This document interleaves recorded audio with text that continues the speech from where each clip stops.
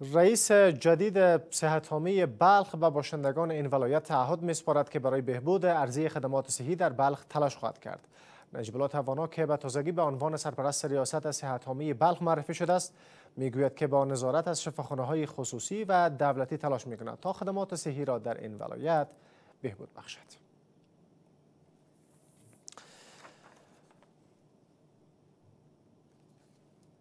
معاون دوم رئیس الوزراء می‌گوید که مسدود شدن سرمایه افغانستان توسط جامعه جهانی و تحریم های اقتصادی افغانستان را در یک بحران انسانی فرو برده است. به گفته آقای عبدالسلام حنفی برای حل بحران انسانی در افغانستان نهادهای مالی بین المللی باید برنامه را به اجرا بگذارد.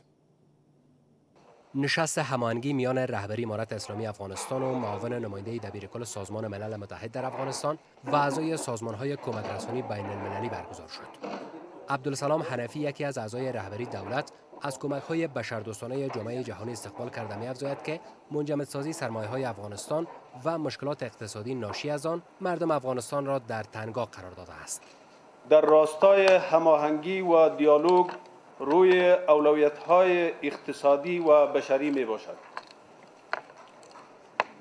توقف کمک های انکشافی و منجمد شدن دارایی های افغانستان باعث مشکلات در افغانستان گردیده است آقای حنفی می‌گوید که همکاری جاری سازمان ملل یک مشارکت مهم با امارت اسلامی است و از تمویل کنندگان خواست تا روند برنامه‌ریزی اقتصادی در افغانستان را آغاز کنند. تجارب سایر کشورها مبین این واقعیت است که کمک های بشری راه حل دائمی برای کاهش فقر و مبارزه با گرسنگی و بحران بشری نمی باشد.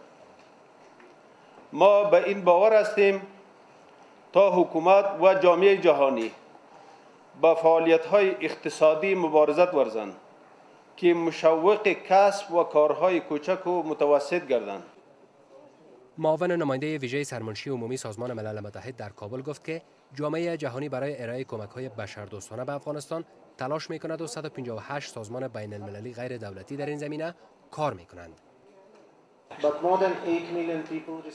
ما برای نزدیک به 8 میلیون نفر کمک های غذایی رسانده ایم و برای 200 هزار نفر کمک های صحی آوردیم و برای هزاران نفر دیگر کمک ها ادامه دارد. ما اینجا هستیم برای این که کمک هایمان را با مردم افغانستان ادامه دهیم.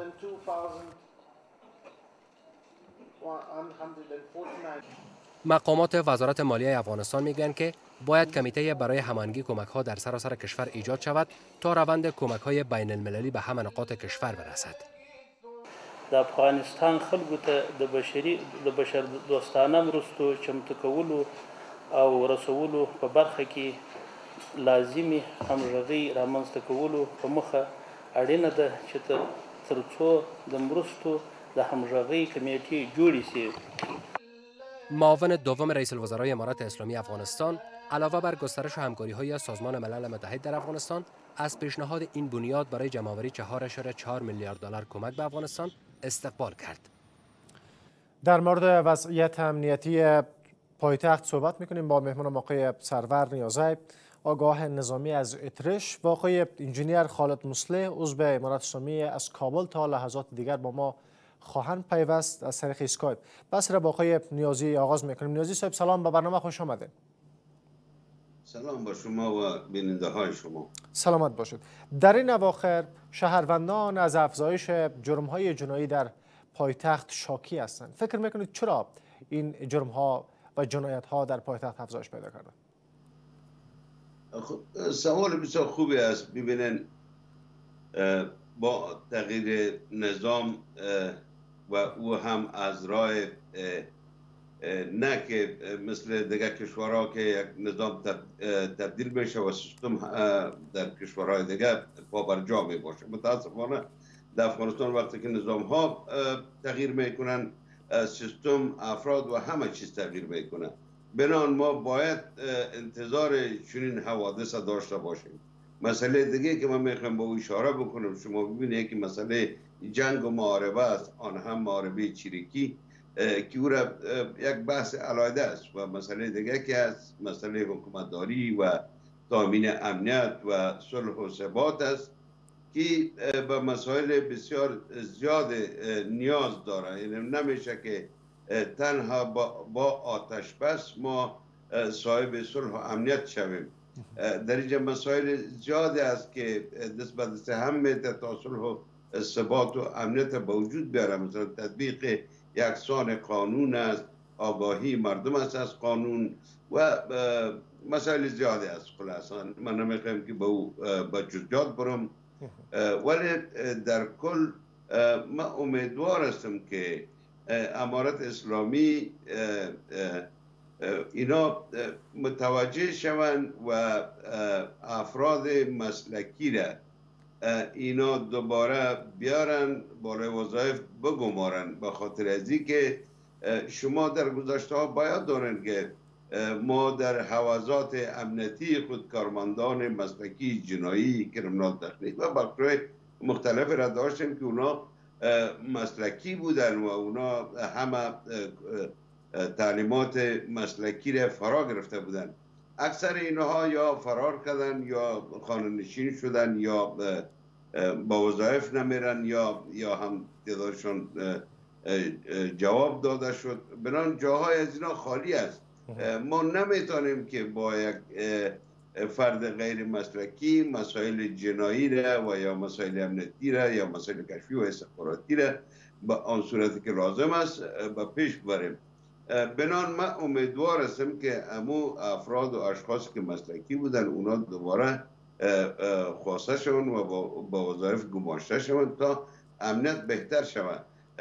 گرچه تا اندازه امارت اسلامی هم کشای خود دارن شما ببینین اینا از مراکز طالبی همیشه هفته هفتوار و ماهوار تقریبا از یکی از مرکزهای تعلیمی افراد جدید نظامی فارغ میشن. یک تعلیمات بسیار کدام قصیر المدت اینا می‌بینن. ولی با این تعلیمات قصیر المدت یک نظامی یا یک پلیس یا یک افسر سرباز می‌تونه صرف اما مسائل جمع نظام و همه اصول نامه دیسپلین و چیزهای بسیار ابتدایی را یاد بگیره. اون نمی‌تونه که با این تعلیمات ابتدایی بتونه که جرایم چطور کشف بکنه چطور بررسی بکنه یک حادثه را یک واقعه چطور بررسی بکنه از لحاظ مسلکی این بسیار مشکل است و با افراد و اشخاص مسلکی نیاز داره درست. ولی همزمان با فروپاشی نظام قبلی زمان که امارات اسلامی در رأس قدرت قرار گرفت وعده سپرد که تامین امنیت میشه و کوشش می‌کنن که کارهایی که قبلا در نظام قبلی صورت می گرفت اختطاف بود دزدی بود اینها را پروکش می‌کنه. ولی حالا ظاهرا دیده میشه که این جنایت ها افزایش پیدا کردن حالا ما می‌خوایم بدانیم که امارات اسلامی ظرفیت نداره یا نمی‌تونه یا نمی‌کنه این کار را. ببینید من خدمت شما عرض کردم که دقیقا اینا فعلا امی ظرفت مسلکی را ندارن. بنان ما از دمو خاطر گفتم که اینا باید کوشش کنن که امو افراد اشخاص مسلکی دوباره جذب بکنن و با وظایف بگمارن ببینید من یک مثال بگم براتون. وقتی من مثال با کامپیوتر هیچ آشنایی ندارم. و شما کامپیوتر پیش روی من می‌گذارن. من با وقت نیاز دارم که تا درست است که من کوشش می‌کنم ولی با, با گفتن خود نمیشه که ما بگویم که بله من می‌تونم و ما باید با او آشنایی داشته باشم و تدریس کرده باشم و مسلکی باشم حداقل چیز در ذهن داشته باشم. با این نمیشه که ما با کوشش و یا با حرف بنان من امیدوار هستم که امارت اسلامی افغانستان درست است که شما ببینید در گذشته ها با وصف که ما یک اردو و پلیس بسیار مسلکی داشتیم. ولی سطح جرم و جرایم به مراتب بهتر از بیشتر از امروز بود. بله. شما می‌دیدید که یک هیچ کس حتی در شهر با یک موبایل که یک در قیمت قیمت تر می بود حتی کس جرات نداشت از جیب خود بیرون بکنه. حتی موارد ما داشتیم که اینا کسایی که با لباس های پاک و تمیز نمی‌تونستن به شهر گشت گذار کنن. با واسطه که ما یک حکومت مسلکی و یک اردوی قوی و پلیس مسلکی هم داشتیم بنان چون نظام تغییر کرده ما باید حتی انتظار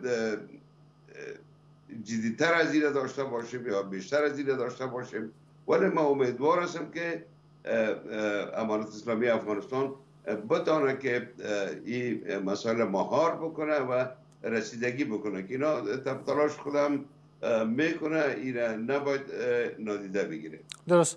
ولی بر اساس گزارش های امارات اسلامی روزانه دهات اندزگیر میشه. آقای نزا چرا تاثیر روی کاهش یا مهار جرم جنایت در کابل نداره؟ اونا میگن ما روزانه بازداشت خب، داریم افراد و اشخاص را بازداشت می‌کنیم. ما می‌خوایم بدانیم چرا تاثیر نداره روی مهار این وضعیت؟ یک مسئله بسیار عمده به وجود آمده که نباید ما نادیده بگیریم. با سقوط حکومت قبلی و آمدن نظام جدید اکثر مردم بیکار شدن.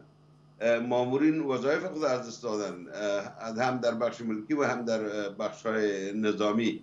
و همچنان کار و بار تجارت کارهای ساختمانی همه چیز متوقف شده و مردم گوشنه هستند. فقر و بیسوادی و امثال هم اینا خود به خود سطح جرایم بالا می‌بره. وقتی یک کسی گرسنه باشه اولادش نان نداشته باشه اونا به هر کار دست می‌زنن. حتی ما بارها گفتیم که از این وضعیت کنونی که بیکاری است فقر است می‌تونه که حتی گروه های تروریستی مانند داعش و القاعده اونا سربازگیری بکنن و از این بهره برداری بکنن و یک زمینه خود خوب برای جلب و جذب اونا مساعد شده. ما امیدوار هستم که هم جامعه جهانی در قسمت امو تحریم هایی که بالای افغانستان وضع کرده پول های افغانستان اینا منجمد ساختن. هم جامعه جهانی توجه بکنه و پول ها را رها بکنن. و هم حکم امارت اسلامی افغانستان و حکومت طالبان در قسمت دست شوند نواوری بکنن و بخصوص ببینید در اینجا سیستم موجود است. اگر اینا از همون سیستم قبلی کار بگیرن ببینید مسئله بسیار مهم دیگه که است. اگر یک نظام از بین میره یا تغییر می‌کنه در دیگه شورا سیستم موجود می‌باشه و در افغانستان هم سیستم تغییر می‌کنه وقتی که یک نظام تغییر سیستم هم تغییر می‌کنه. که این دو مسئله بسیار عمده است که هم افراد جدید بیا و هم سیستم جدید بیا در اینجا مردم مردم عام نابلد هستند و حتی خود کسایی که شامل حکومت هستند برای اونا هم این مسئله جدید است. بنان ما امیدوار هستم که اینا همینطوره که آمیان جریان داره اینا کورس های خصیر مدت برای افراد خود به اصطلاح راندازی می‌کنن پیش می‌برن اینا تعلیمات مسلکی رو می‌بینن. ما امیدوار هستم که تعلیمات متوسط و دراز مدت هم اینا بالای افراد خود تطبیق بکنن و افراد خود به مراکز تعلیمی و به کورس های مسلکی بفرستن تا که اونا مسلک فرا بگیرن. در غیر از او ما شاید مشکلات شاید مشکلات بیشتری باشیم. درست. ولی بر فعلا نیروهای کافی وجود داره در اطراف شهر. ما در تازه ترین مورد یک گزارش داشتیم که یک شاگرد کورس پس از اینکه برمیگشت طرف خانه در مربوطات حوزه 11 شهر کابل. موبایلش دزدی میشه و بعد از او با چاقو کشته میشه از بین برده میشه. شما گفتین که افراد و اشخاص مسلکی را باید جذب بکنن به خاطر مهار این وضعیت. در کنار از این چه مواردی را باید نیروهای امارات اسلامی در نظر بگیره که حداقل بتونن جلوی این چنین فاجعه ها را بگیرن؟ خب مسئله بسیار مهم ای است که اینا باید در بین مردم جایگاه خود پیدا بکنن. یعنی روابط خود با مردم و با شهروندان کابل نزدیکتر بسازن. با وکلای گذر که رول مهم و اساسی را دارن که با نیروهای امنیتی در این رابطه کمک مرا امامان مساجد و همینطور افراد اشخاص متنفس. و در به طور کل شما ببینید ما در گذشته ها هم می‌گفتم وقتی اگر یک مجرم می‌بینه که رنجر پلیس با مو آلارمش و با مو چراغهایش میایه مجرم رو می‌بینه که پلیس آمد طرف من بنان موثریت پلیس مخفی در کاهش جرایم بسیار پر اهمیت است. من امیدوار هستم که شما ببینید همه کراچی اونایی که در شهر است در گذشته اینا حتی خود پلیس از اینا پول می‌گرفتن که در یک جای اینا استاده می شدن من میگم که حداقل امارت اسلامی امی کسایی که اجازه میتن در یک جای کراچی خود استاد می‌کنه. از اونا خواهش بکنه اونا رو ثبت راجستر بکنه و اونا رو من حیث یک همکار خود با خود داشته باشن. یعنی می‌تونن که از اونا اطلاعات حاصل بکنن با اونا کار بکنن اونا رو تربیه بکنن و یک مقدار پول اپراتفی یا یک پول کمی اگر برش در نظر گرفته شود چی بهتر؟ و اگر نشود حداقل که از امو کراچوانی که اوجه استاده است که پول گرفتن همیشه طور رایگان در کنار یک جاده استاده و جای بند انداخته. خوب که از او استفاده شود و, و, او را من حیث همکار اینا جذب بکنن با مجرد که و در پهلوش پلیس مخفی مسلکی باشه. اینا با هم ارتباط باشن چون که پلیس مخفی را یک مجرم نمی‌تونه که ببینه یا شناسایی کنه ولی پلیسی که با یونیفرم میایه بارنجر میایه طبیعی است که مجرم را می‌بینه پیش از اینکه پلیس اوجا برسه و فرار می‌کنه دیگه و مجرم برای دو استاد نمیشه بنان توظیف و استخدام پلیس مخفی بخصوص در تامین امنیت شهرها بسیار و به نهایت است. قرار بود آقای انجینر خالد مسله عضو امارات اسلامی حضور پیدا بکنه. من نمی‌دونم چرا تماسشان وصل نشد. اکاش اینا می بودن در برنامه. ما ازشان میپرسیدم در مورد کارهایی که صورت گرفته قرار صورت بگیره چه قسم این وضعیت مهار میشه پلان ها چی بود؟ ولی به حال اونا در برنامه حضور پیدا نکردن. ما می‌خوایم سوال آخری از شما بپرسم آقای نیازی. اگر این وضعیت مهار نشه چه پیامد بد می‌تونه داشته باشه در جامعه امروزی ما خب طبیعی است که مسائل مختلف است که دست هم داده و وضعیت به طرف بحران می‌بره به طرف نامنی می‌بره که بر خدمت شما عرض کردم که فقر از بیکاری است. ما امیدوار هستم که فقر و بیکاری از بین بره افراد و اشخاص مسلکی دوباره به وظایف گماشته شود. و کسایی که کاروبار از دست خود از دست دادن اونا دوباره به کاروبار خود آغاز بکنن و وضعیت اقتصادی برای به طرف نرمال شدن دوباره. و در پهلوش پیشنهاداتی که من کردم و یک چیز دیگر ما می‌خوایم علاوه بکنم من در زمان مسئولیت دروازه کابل داشتم. مسئله بسیار عمده و اساسی است. متاسفانه در هایی که من وقت ارائه کردم حکومت امکانات نداشت عاجز بودن. طور مثال شما اگر در او وقت اگر ما مثلا امی وسطی که از طرف سمت شمال میامد یا را اگر دقیق تلاشی می‌کردیم یک ساعت هم اگر ما می‌خواستیم که تمام وسط تلاشی بکنیم تا جبل سراج این سرک مسدود می‌شد و موتراج تا بخاطر از اینکه تردد وسایل بسیار جاد بود و او ساحه کم است. بنان برای تلاشی وسایل در دروازه های کابل باید ساحه بسیار کلان در نظر گرفته شد که همزمان حداقل در ده خط در هر دروازه وسایل تلاشی شود. وسایل نقل خورد و بوس ها جدا و موترهای لاری و بارباری جدا وسایل نظامی جدا خطهای مشخص برای از اینا لوها نصب شود. که هر وسایل در خط قطبه افراد مشخص در اونجا باشه و اونا را همزمان تلاشی بکنن. این مسئله بسیار مهم اساسی است که در غیر از این راه های بسیار زیاد علاوه بر دروازه های کابل است که راه های فرعی است. راه های متره و بزره و پیادره که من امیدوار هستم که امارت اسلامی بتانه که این راه ها را هم کنترل بکنه و پست های امنیتی را افراز بکنه. checkpoint ها را و تا که تمام وسایلی که داخل شهر کابل میشه اونا تلاشی شوند. ممنون آقای سرور نیازب آگاه نظامی که از اترش با ما بودن. سپاسگزار و ممنون که بیننده خبر هشت بودید. تا برنامه دیگر. بدرود.